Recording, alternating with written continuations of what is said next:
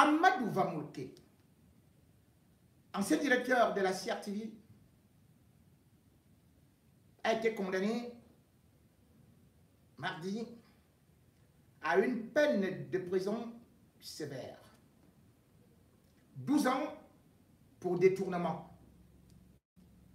Et bien sûr, lorsqu'on entend cela, beaucoup dansent en disant qu'il faut vraiment punir les grands voleurs. Euh, sauf que pour le cas de Amadou Vamolke, puisque les grands voleurs sont bel et bien tapis dans l'ombre, eh bien, c'est encore euh, le théâtre d'un régime qui pratiquement essaye de diaboliser les modèles, qui essaie de tenir l'image de tous ceux qui ont essayé au moins de montrer quelques signes d'exemplarité. Le procès d'Amadou Vamulke est un procès encore kafkaïen, un procès parodique qui montre encore jusqu'où notre justice est cynique. Arrêté le 29 juin, et il y a de cela pratiquement 6 ans, 7 ans même. Amadou Vamulke a été trimballé au palais de justice plusieurs fois. Jamais on n'avait vu ça pour un procès. Même celui de Ben Laden n'a jamais été si long avec autant de renvois. On vous arrête, on vous met en prison, et après, on cherche les éléments pendant sept ans. Et on fait 151 renvois avant de vous dire que vous êtes finalement condamné à 12 ans de prison pour détournement. Et on vous dit, vous devez payer une amende de 47 millions. Seigneur, il a donc détourné 47 millions. Quand Amadou Vamulke se fait arrêter, eh bien, on nous fait comprendre qu'il a détourné 33 milliards de francs CFA. Et par la suite, il y a une condamnation qui arrive. On nous dit que non, en fait, selon l'audit, c'est plutôt 20 milliards. Et ensuite, on nous dit non, non, non, il n'y a même pas eu condamnation. Bon, on était encore en train de faire des recherches. On a trouvé que c'est 14 milliards et demi.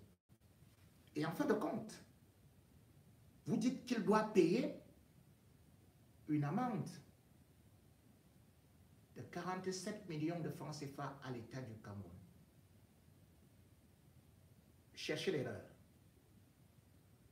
Tous ces milliards-là, lorsqu'on les détourne, eh bien, on nous montre d'abord où sont les comptes d'Amadou Vamouté. Est-ce que cet argent s'est envolé? Puisque cet argent, quand il est détourné, il va dans certains comptes. Sont donc les comptes d'Amadou Vamouté qu'on a eu à saisir Deuxième des choses, eh bien, ces comptes comptaient combien d'argent? Au Cameroun, zéro. On n'a pas trouvé. L'argent qu'on dit pourtant que quelqu'un a détourné, cet argent a-t-il été caché sous son lit? Et puis la police, la gendarmerie, ils n'ont pas réussi à casser son lit ou bien à fouiller son matelas pour retrouver les 33 milliards ou les 14 milliards. Mais tiens, ah, ils vont vous dire que c'est à l'étranger. À l'étranger, il y a ce qu'on appelle les commissions rogatoires. Lorsqu'on vole au Cameroun et lorsqu'on transfère de l'argent à l'étranger, eh bien, il y a bien des traces. Et l'État du Cameroun demande justement à la justice de ce pays tiers de collaborer et de lui fournir des éléments. C'était ainsi fait quand il s'agissait des autres. Mais pour Amadou Vamolke, 151 renvois. Et on ne voit pas là où est parti de l'argent. On voit tout simplement qu'il y avait eu un rapport de l'audit qui dit que Amadou eh bien, avait détourné dans un compte, et ce compte-là, c'est en 2017. Un compte qui a été ouvert en 2017, quand lui, il était déjà en prison. Vous comprenez quelque chose? Et cet audit a été commandé par qui? Charles Ndongo, son successeur. Et il est parti choisir qui Un comptable, dit-il. Comment il appelle ça? Belibi, Belinga, Baby. Et comment il a choisi cet auditeur-là? Eh bien, en 2016, il passe par le gré à gré, ce qui est interdit par la loi camerounaise. Et pourtant, il a sollicité le ministre des Travaux, euh, des marchés publics, qui lui a bien dit, vous ne pouvez pas, monsieur Charles Ndongo, passer un marché de gré à gré par rapport à ces sommes, surtout que on a tellement de cabinets que il faut faire au moins un appel d'offres sur trois cabinets. Charles Ndongo n'a pas, écouté. Charles Ndongo est parti prendre son ami, nous le présentons comme étant un docteur d'État à Paris, sorti de l'école de commerce, sauf que de toutes les fouilles que nous avons faites, cet homme n'a jamais rien eu à Paris. Et le pire, c'est que Charles Ndongo va faire que ce monsieur fasse un audit faux et surfacture ses travaux. On va partir de 60 millions et finalement, Charles Ndongo va faire que on paye plus de 76 millions. Un marché de gré à gré. Et c'est ce monsieur qui va donc rédiger ce faux rapport en disant que Amadou Wamolke avait donc dans son compte, datant de 2017, la somme de 2 milliards 143 millions de francs CFA sortant, bien évidemment, des détournements des redevances audiovisuelles de la CRTV. Vous comprenez quelque chose? Quelqu'un n'était plus à la CRTV Quelqu'un est en prison? Et il a réussi à détourner à l'époque de Charles Ndongo. Comment ça? Tout cela montre le caractère faux et le caractère manipulateur de cet individu qu'on appelle Charles Ndongo, qui pourtant était le bras droit d'Amadou Vamoulke qui était déjà malade. C'est lui qui faisait tout. Et pourtant, il était là uniquement comme l'envoyé spécial de Paul Biya pour clouer Amadou Vamoulke. On reproche à Amadou Vamoulke qu'il a obtenu, par exemple, des congés gratuits. Enfin, les congés illégaux, financés à 16 millions de francs CFA. Qui ne veut pas les obtenir. Que ça c'est faux, c'est grave ça. Sauf que Amadou Vamoulke répète que, attendez, quand j'arrive à la CRTV, vous m'avez proposé, comme mon prédécesseur, un salaire de 8 millions 900 000 francs CFA, c'est-à-dire 9 millions par mois. J'ai refusé ce salaire et j'ai écrit au chef de l'État, Paul Biya, que je préfère plutôt avoir un salaire divisé peut-être par trois. Et c'est comme ça qu'on lui a donc offert, on lui a donné un salaire de 3 600 000. Donc, admettons donc ils disent qu'il a bénéficié des congés pendant les 11 ans qu'il a été là. Il a permis à l'État du Cameroun d'économiser 600 millions. Son argent qui lui revenait de droit. Mais en tant que patriote, il a dit, la CRTV est dans un état de délabrement avancé parce que quand il arrive, il faut le savoir parce que moi, j'étais encore, avant l'arrivée de Vamolke, directeur de Radio Siampo, où je battais la CRTV avec mes animateurs. Nous, on pouvait avoir une voiture de service, alors que la CRTV n'avait pas de voiture de service. La CRTV avait deux banques de montage et s'arrêtait d'ailleurs à minuit. C'est moi qui, à l'époque, quand j'étais à la CRTV sans être payé, à l'époque de lui, à, l'époque de Mendoza, c'est moi qui faisais l'émission. C'est moi qui ai créé l'émission. Non seulement le tourbillon de parade, mais le super boom du samedi soir. La CRTV fermait à minuit. Pourquoi? Parce que les techniciens n'avaient pas de moyens pour pouvoir produire quoi que ce soit.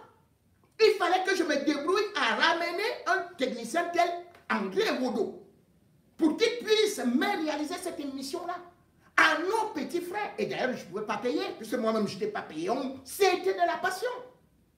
Pour qu'on puisse quitter finalement à 1h du matin. C'est donc Amadou Vamoké, qui est le directeur qui vient faire que la CRTV passe à 24 h sur 24. À l'époque, quand il arrive, la CRTV, au village de Paul, il n'y en aimait pas. Parce que les émetteurs qu'on était parti prendre avec la complicité de Jacques Famandongo étaient des vieilleries des Siemens qui ne fonctionnaient pas. On avait dit à Bia que la CRTV sera sur satellite. À Gagoué, il n'y avait pas de CRTV. En Gandé, il n'y avait pas de CRTV. À Kribi, même, il n'y avait pas de CRTV. À Maroué, il n'y avait pas de CRTV. C'est donc Amadou Vamolke qui a réussi à remettre la CRTV sur orbite et qui a réussi à faire qu'il y ait des caméras, puisqu'il partait louer les caméras amateurs au quartier, chez des particuliers. Il partait d'ailleurs faire des montages au quartier, puisqu'il n'y avait que deux bandes de montage dans une chaîne de télévision d'État. Amadou Vamolke a été audité par l'Agence de régulation des marchés publics. Comment vous voulez me faire comprendre que ni le Consupé, ni l'Agence de régulation, ni la NIF n'ont trouvé une mauvaise gestion sur Amadou Vamoké. Bien au contraire, il a été félicité. Puisque, effectivement, sur 600 DG,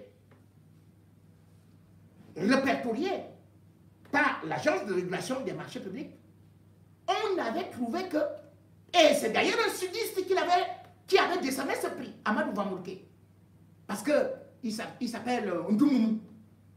Il lui avait offert le trophée comme le meilleur maître d'ouvrage. Parce que les ministres, lorsque vous passez les marchés, on vous appelle maître d'ouvrage. Voilà. Or, les autres, ils volaient. Lui, que ce soit à la SOPECAP, que ce soit à l'imprimerie nationale, il redressait, il n'y avait jamais d'affaire de gombo, il n'y avait pas de corruption.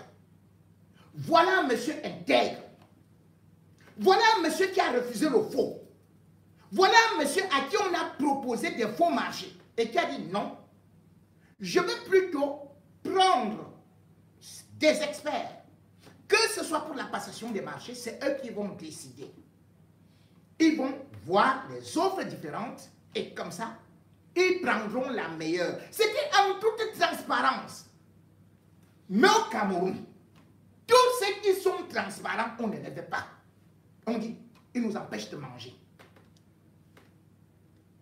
On a donc pris quelqu'un à qui vous ne trouviez aucune erreur de gestion. Vous dites que tout simplement, il a donné de l'argent, c'est-à-dire que les compléments de salaire aux agents du ministère des Finances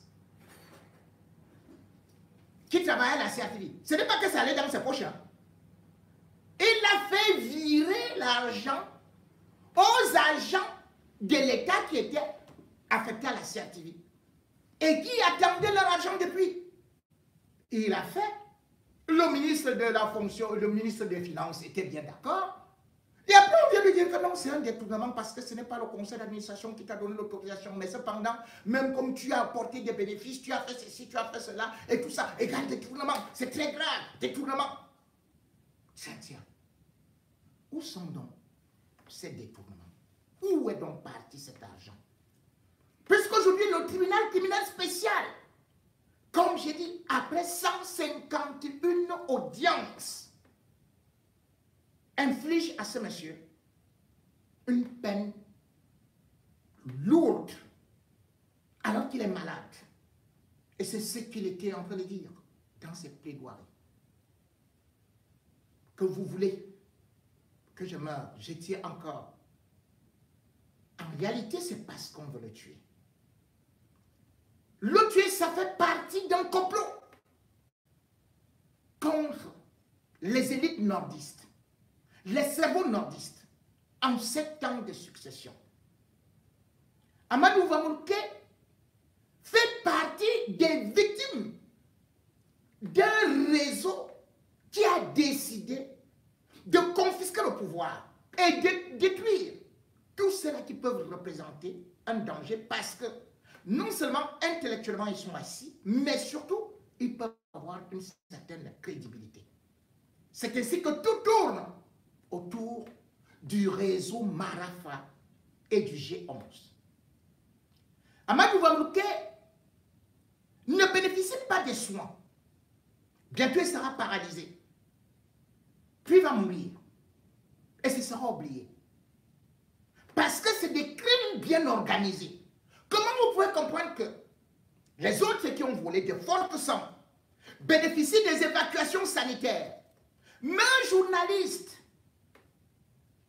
qui a été reconnu par l'ONU, la Commission des droits de l'homme, et même ce qu'ils appellent souvent le comité de travail, comme quelqu'un subissant des injustices politiques, comment voulez-vous qu'on lui refuse ne serait-ce que cette évacuation-là lorsqu'on sait qu'il y a l'ancien ministre des Finances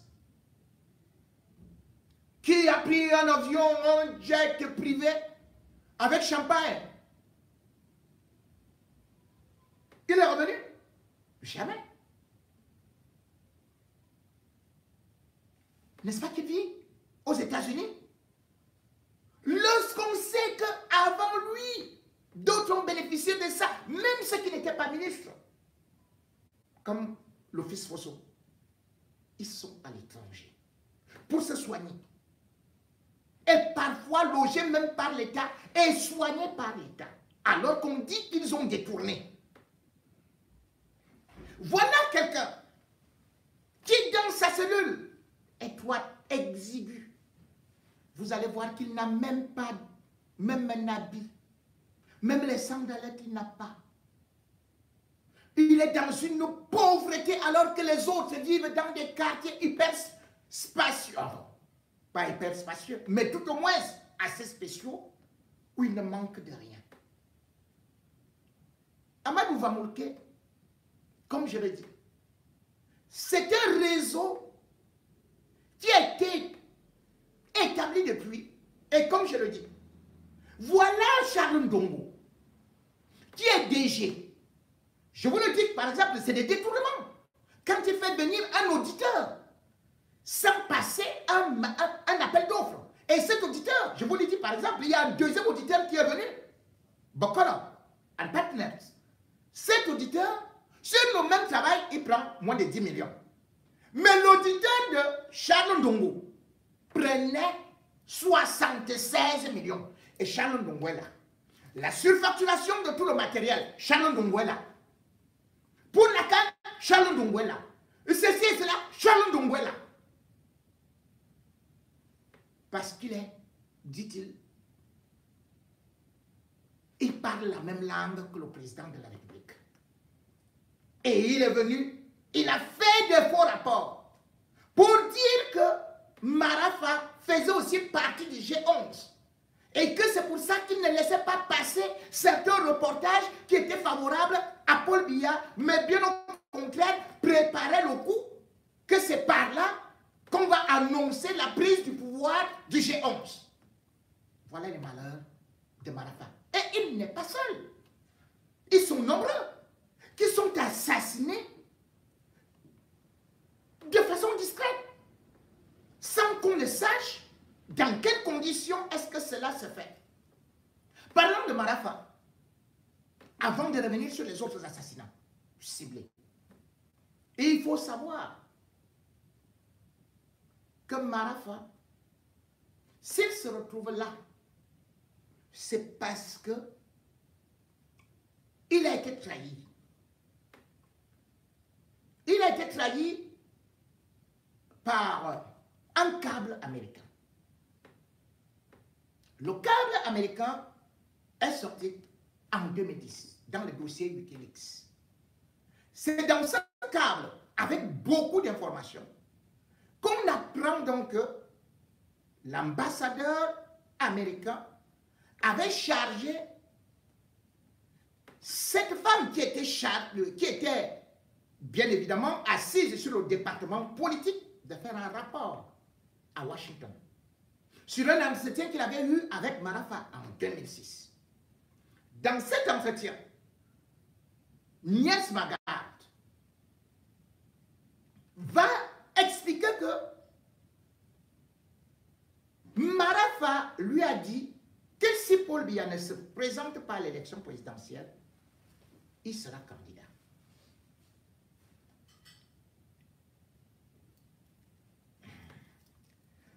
La femme qui va faire le rapport s'appelle Brucker Catherine. Elle envoie ça à Washington. Mais maintenant, lorsqu'il y a le scandale de Wikileaks en 2010, eh bien, Paul Biya découvre donc que Marafa veut devenir président. A l'ambition de devenir président si jamais lui, il ne se représente pas. En ce temps, ils ont fabriqué un truc en disant c'est le G11 qui veut prendre le pouvoir. Et on va donc convoquer, il va convoquer Marafa dans son bureau pour lui dire que, bon, écoute, euh, vraiment, est-ce que tu es prêt à devenir, parce que, qu'est-ce que tu penses de l'élection de 2011 et tout ça?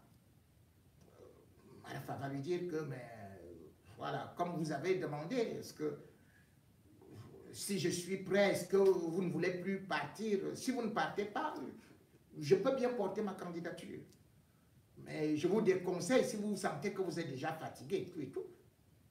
On lui avait dit, ok, appliquez-vous donc pour que vous serez candidat.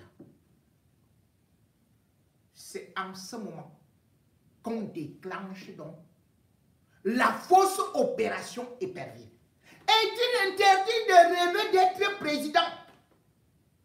Ali, tu avais appelé Biya, c'est un nordiste. Pourquoi aujourd'hui Paul Biya, qui prétend être l'ami des nordistes, déteste tant les nordistes et veut les éliminer tous? C'est comme ça qu'on arrête Marafa. En disant complicité intellectuelle des détournements sur un avion de 2001 où on va voir, on va arrêter toujours les attentes, on va arrêter tout et tout et tout. Marafa est gardé au 7. Mais c'est lui-même qui était dans le cerveau. C'est-à-dire que Yves Michel Fosso, on ne sait pas là où lui il est parti. Hein. Je vous ai dit que je l'avais vu à Paris, à la gare de l'Est, en train de siroter son petit jus. Marafa est gardé et va mourir au 7. Les gens qui gardent Marafa, c'est comme si tu gardais le plus grand terroriste. Donc, dans un centre militaire, pire que Guantanamo, il est dans une cellule de 3 mètres sur 4. Et on a installé des brouilleurs de téléphone. C'est-à-dire qu'il ne peut avoir aucune communication de l'extérieur. Marafa ne voit plus. Il est presque aveugle. Et Billard refuse qu'on le soigne. Il va mourir, comme j'ai dit. Avec, euh, bien évidemment, Vamoulke. Vamoulke, mais lui aussi, c'est la même chose. C'est le complot contre le Grand Nord, contre le Septentrion. Parce qu'on dit qu'il est proche de Marafa. Charles Lombois réussit à faire croire ça aux gens, à obtenir des enregistrements, même avec des imitations de voix. Et comme Paul Biya aime ça. Ah bon? Voilà donc Marafa. Et le régime a poussé sa cruauté jusqu'à faire assassiner celle qui était sa secrétaire. Elle sera assassinée parce que c'est elle qui avait des documents, parce qu'ils ont peur que Marafa maîtrise un certain nombre de choses. Et comme Marafa avait étudié au Kansas, c'est quand même un diplôme en pétrochimie. C'est un monsieur très brillant. Madame Catherine Sopo, c'est comme ça qu'elle a été assassinée le 24 avril 2014 chez elle. Parce qu'elle détenait tous les documents de Marafa. Elle avait été secrétaire particulière de Marafa pendant plus de 20 ans. Trois individus vont arriver chez elle. Tous les voisins ont vu. C'est un commando, un civil. Des gens envoyés par le gouvernement. Ils vont arriver chez elle. Ils vont ressortir après 10 heures de temps. Ils vont l'assassiner. Jusqu'à présent, il n'y a aucune enquête, aucun résultat pour un meurtre aussi grave. Regardez ce qui a encore eu plus tard, à savoir Alim, euh, Alim Garga,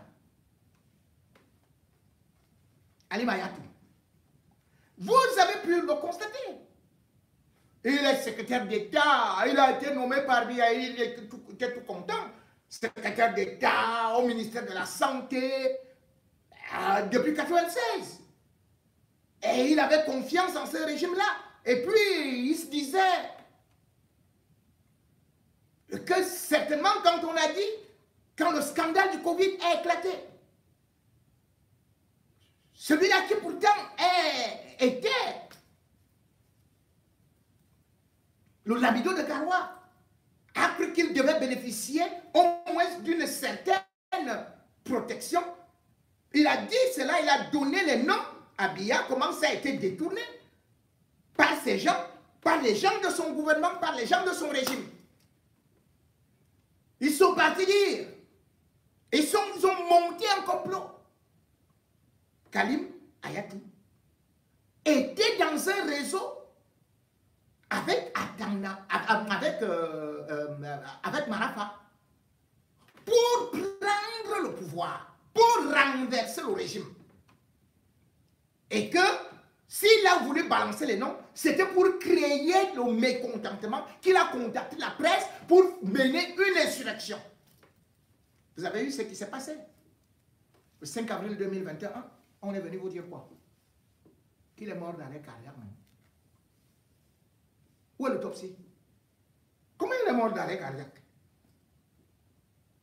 Vous avez vu même la dame qui était euh, proche d'elle, qui a été brûlée dans, dans une boîte de nuit, où les gangs ont été les premiers à partir.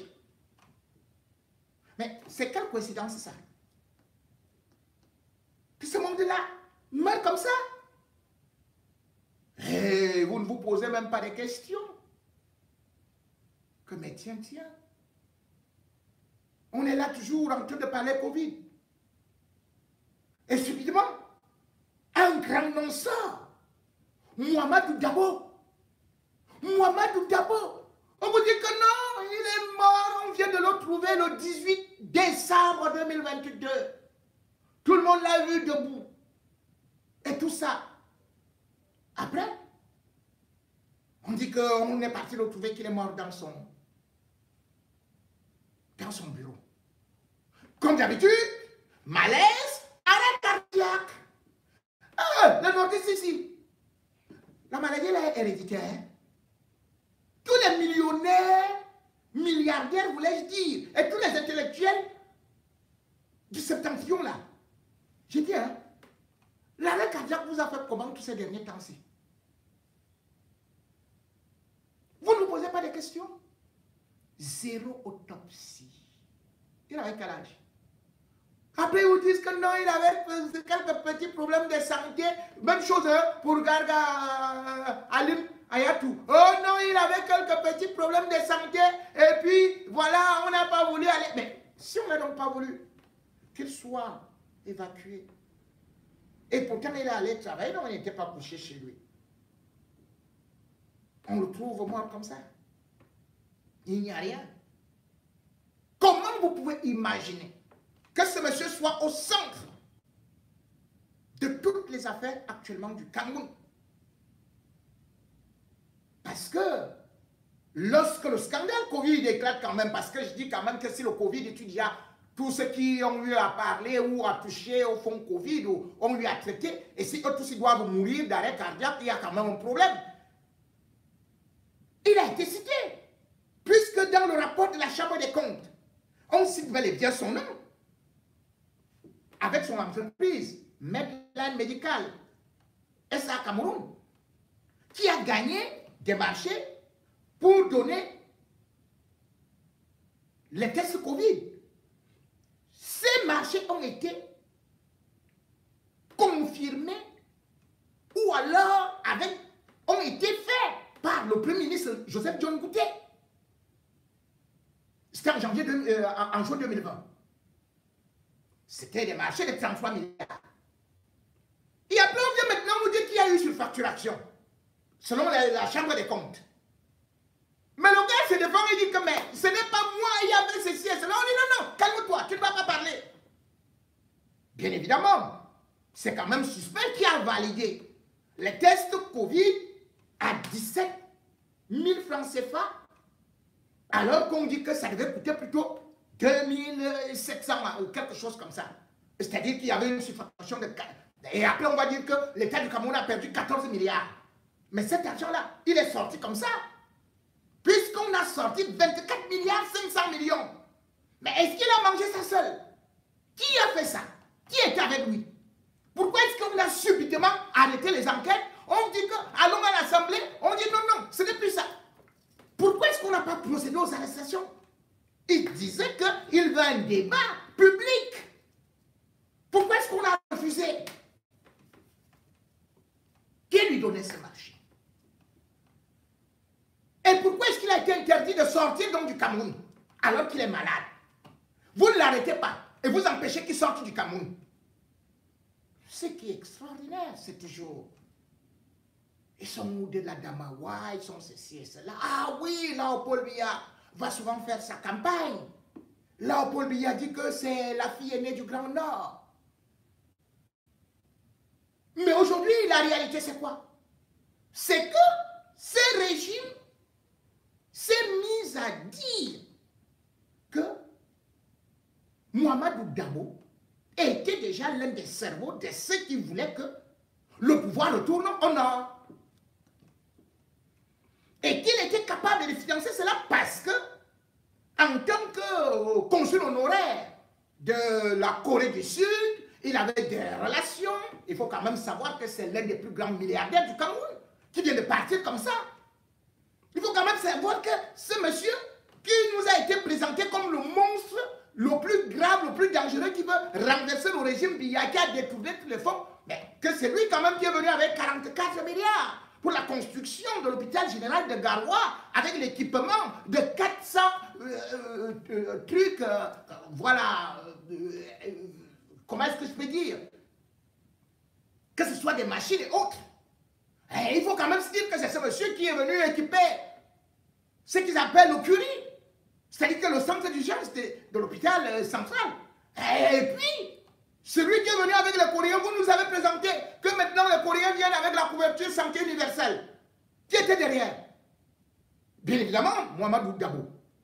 Celui qui venait avec... Euh, et subitement, vous dites que quelqu'un qui a autant d'intérêt au Cameroun, il ne peut pas aller se soigner. Quand il meurt, vous dites que non, ce n'est pas vous. Vous ne l'avez pas jugé, vous ne l'avez pas convoqué, il n'y a rien eu. Et il meurt comme ça. Parce que c'est toujours dans la continuité de ceux qui peuvent alimenter le G11, de ceux qui peuvent être autour de Marafa. Parce qu'il y a eu beaucoup de rapports. Et dans ces rapports, il y a d'autres qui sont en train d'être suivis, qui risquent aussi de partir demain ou après-demain. Ali Bachir est sur la liste. D'ailleurs, je peux vous donner plusieurs noms. Et d'ailleurs, je ne suis même pas sûr qu'il soit en santé en ce moment. Parce qu'un commando a été choisi pour également aussi l'éliminer parce que eux se disent que non, c'est très dangereux par rapport à la célébrité. Tout ce monde qui peut être célèbre, qui peut être milliardaire au Grand Nord. je peux vous dire, à part quelques vieux, vous allez les voir disparaître de façon incroyable d'ici 2027. Je vous donne l'un des noms, hein, Ali Bachir. Il est dans leur liste. Pourquoi? Parce que je vous avais dit ici qu'il avait quelques acquaintances avec euh, euh, Émile Eh bien, on a trouvé immédiatement qu'il était avec lui parce qu'il veut renverser le régime. Et que par la suite, maintenant, il est parti au niveau de, du, du Damida, de Garoua, il aurait offert 15 millions là-bas et qu'il est devenu trop célèbre. Ce que lui ne sait pas, c'est comment est-ce qu'il a fait pour perdre la députation? Parce qu'il était l'un des jeunes que beaucoup de gens aimaient ou aiment même dans l'extrême nord. Et on le voyait peut-être jouer un rôle demain ou après-demain. Et qu'est-ce qu'ils se sont dit? Mais non, celui-ci, il est dangereux parce que les jeunes l'apprécient. Ils donnent, euh, des tables bancs, ils donnent de l'argent ici, ils donnent des bourses, ils donnent... Tout ça a été établi dans des rapports, des dossiers secrets qu'ils ont transmis dans la liste de la continuité des marafistes. Donc comme ils ont les franquistes là, ils disent que non, celui-là, il n'est pas trop franc il n'est pas trop dans le pouvoir, il n'est pas trop ceci, parce qu'ils veulent toujours montrer que dès que tu es contre franc c'est que contre, tu es contre Biya. Et ils savent créer des ennemis, même si tu n'es pas contre franc Ils t'affublent cette épithète-là. Alors qu'en réalité, ceux qui sont en train de piloter sont derrière là, avec euh, non seulement les, les, services secrets, mais il y a les bombes et tout ça. Il était député. On a préféré faire passer quelqu'un de l'opposition. Le bandit qui va souvent en Côte d'Ivoire, en, République centrafricaine, là. Juste parce qu'il était prévu qu'on devait l'arrêter. Et pour l'arrêter, il fallait qu'il n'ait pas une certaine immunité. Or là, ils ont beaucoup de difficultés sur certains dossiers qui sont en train de monter. Parce que justement, comme d'abord, voilà des gens qui, dans les années à partir de 2001, quand il est revenu au Cameroun, il n'a pas pris l'argent au Cameroun. Il est revenu comme euh, entrepreneur dans le BTP, dans ceci et cela, comme Diabo est aussi venu. Il a fait des choses. Ils ont apporté quelque chose. Et ils ont soutenu Paul Biya. Malgré le fait que Paul Biya ait décidé d'assassiner des milliers de nordistes suite à l'affaire du coup d'État manqué. Mais c'est les gens qui ont manifesté une certaine fidélité, un certain soutien à Bia, mais qui aujourd'hui sont persécutés, meurent. On vous dit que non, c'est une affaire de justice, de détournement. Mais quels sont ces détournements-là? Quels sont ces détournements? Tout un chacun connaît qui a détourné quoi au Cameroun? Et ils sont là, ils sont riches. Les autres, ce sont des hommes d'affaires plutôt qui ont même soutenu ce régime ont soutenu le RDPC, ont financé le RDPC. Aujourd'hui, on est en train de faire une purge. Comme ce qui s'était passé, bien sûr, juste après le coup d'État manqué d'avril 84. Nous prions donc, parce que non seulement Marafa, c'est un journaliste, mais c'est une personnalité qui, bien évidemment, aussi, comme justement euh, on peut le dire, peut encore avoir un rôle à jouer. Et au-delà de ça, nous parlons de ça ne serait-ce que parce que nous sommes convaincus. L'État du Cameroun est allé avec tous ces documents. Les avocats de Marafa sont allés devant l'ONU avec contre les, avocats de l'État du Cameroun. L'État du Cameroun a échoué. On a même demandé qu'on dédommage Marafa. C'est la même chose qui a été faite sur euh, Amadou Comment vous voulez donc que ces gens, l'ONU, les spécialistes, les juristes, vous disent qu'ici il n'y a rien Libérez-les, dédommagez-les mais vous les maintenez en prison. Et vous dites qu'il doit avoir une cohésion sociale. Lorsque les élites d'une même région ne feront que mourir en prison, vous croyez que c'est la paix que vous voulez là? Vous croyez qu'il y a une seule partie du pays qui doit toujours avoir le pouvoir, Paul Biya, mais attends, ce n'est pas Aïdjo qui t'a fait l'appel de balle. Ce n'est pas lui qui t'a fait la, balle la, la passe décisive pour inscrire ton but de 40 ans. Pourquoi tu veux finir tous les ressortissants, tous les grands du Grand Nord Oui, ils sont là. Kabayeyeye, ils rigolent comme ça là. Et tout, parce que ce n'est qu'un petit instrument fossilifère de ces régimes agonisants qui malheureusement continuent non seulement à faire de la promotion du sang son meilleur métier, mais aussi en utilisant des trafiquants d'influence et aussi en jouant aux méchants, tout étant complètement absent de ce peuple souffrant. Oui, Paul Biya n'est pas un président qui aime son peuple.